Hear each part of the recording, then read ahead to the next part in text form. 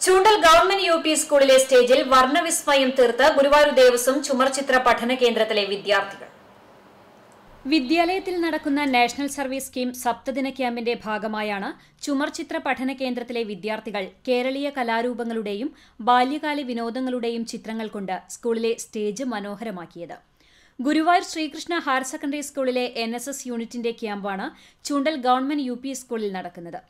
ശ്രീകൃഷ്ണ സ്കൂളിലെ N S S unit ക്യാമ്പിന്റെ ഭാഗമായി ചൂണ്ടൽ സ്കൂളിന് സമർപ്പിക്കുന്നതിന്റെ ഭാഗമായാണ് സ്റ്റേജിന്റെ ചുമരുകൾ ക്യാൻവാസാക്കി മനോഹര ചിത്രങ്ങൾ പിറവിയെടുത്തത്.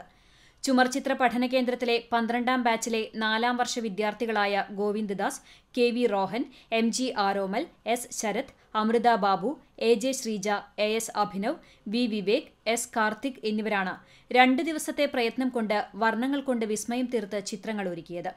അക്രലിക് ചായമാണ് ചിത്രരചനയ്ക്കായി ഉപയോഗിച്ചത്. എൻ എസ് എസ് യൂണിറ്റിന്റെ ക്യാമ്പ് അടുത്ത ദിവസം സമാപിക്കുമെങ്കിലും ക്യാമ്പിന്റെ സ്മരണയുണർത്തി ചുമർചിത്ര വിദ്യാർത്ഥികൾ സ്നേഹത്തിൽ ചാലിച്ചു വരച്ച ചിത്രങ്ങൾ വിദ്യാലയത്തിന്റെ സ്റ്റേജിൽ മിഴിവോടെ തെളിഞ്ഞു നിൽക്കും. CCTV news Kechery.